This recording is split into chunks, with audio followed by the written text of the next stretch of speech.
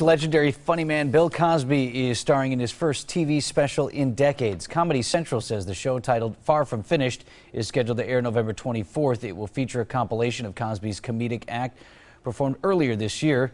This is his first special since 1983. And while we're on the cause, the votes are in, and this here is considered to be the most iconic of the Bill Cosby sweaters. The winner is a design featuring three runners on a, on a track, each clad in tank tops and gym shorts. The champ was revealed on the Today Show this morning. The winning sweater competed against 31 other knits. At the end of the Today Show segment, Bill Cosby got a surprise for his upcoming 76th birthday. His former Cosby Show co-star Phylicia Rashad surprised him with a sweater. Thank you.